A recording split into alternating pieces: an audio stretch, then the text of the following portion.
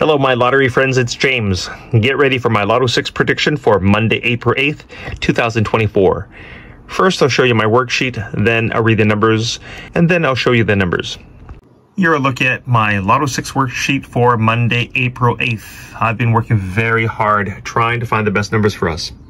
Anything below this orange line are considered code numbers, and anything above it are warm to hot numbers. I usually choose at least one code number. In this case, there are several. I like numbers in 21G tier, 20G, 15G, 12G, 11G. In addition, I like numbers from 10G, 9G, 8G, 7G, 6G, 5G, 4G, 3G, 1G.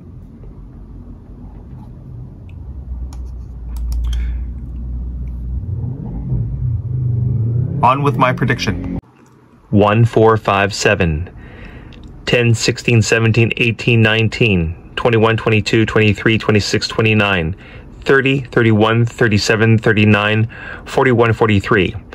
My strong numbers are 5, 7, 10, 16, 17, 18, 19, 21, 23, 26, 30, 31, 37, 41, 43.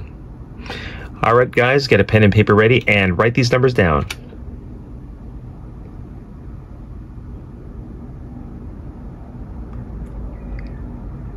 Let's get rich.